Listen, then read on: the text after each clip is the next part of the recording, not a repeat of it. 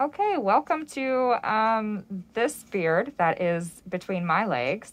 I'd say put your beard on your wig head, pin it down if you can. If you have like straight pins, put some pins in it. And then since you don't have a wig stand, just holding it between your legs in your lap is perfectly fine. With this size curling iron um, that you have, you're not gonna get a whole lot of texture. You're mostly gonna be able to just kind of curl some ends under. So if you take small pieces, and I know that the length of your beard might be a little bit shorter than what I have. But you kind of can just like curl the ends under. The other thing you can do is wrap it around your barrel and you can do different directions, which will give you different varying types of movement. Some going that way, some going the other way. Uh, yeah, this beard is super ratty, super rough. The one that you bought is in much nicer shape. But the smaller the section, the better. You can do some wrapped this way. And just be careful. I've got my heat on medium or about, so it's not quite as hot as it can go but that'll give you a little bit of movement. The other thing you can do is if you have straight pins, I'm going to use T-pins, but this is what's called a T-pin set, and it's when you just kind of move the hair in a direction and pin it in place. And then you can go back the other way and you're just creating little zigzags in your hair. And you can do that going different ways. You don't want to create too many gaps in your facial hair.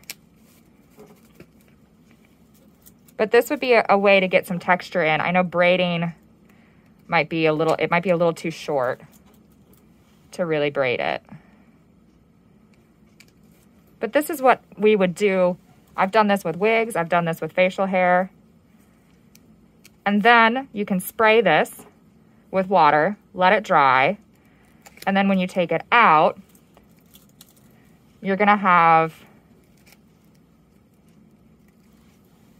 some like crazy messed up. You can just like run your fingers through that and then take your curling iron and just curl the ends under.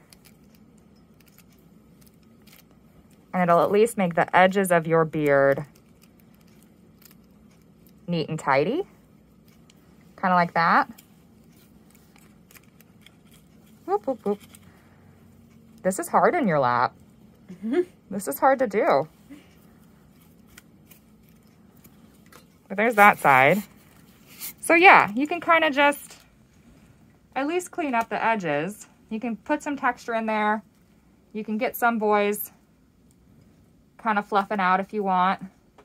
But that's about all you can do with this size curling iron. Now, I'm going to show you what I usually use. Grabbing the phone. Okay, so welcome to my very, very messy wig shop here in merry old Milwaukee, Wisconsin. Over here is my Marcel oven. This is what I use with facial hair, and I've got varying sizes of irons. So like this guy is rather big.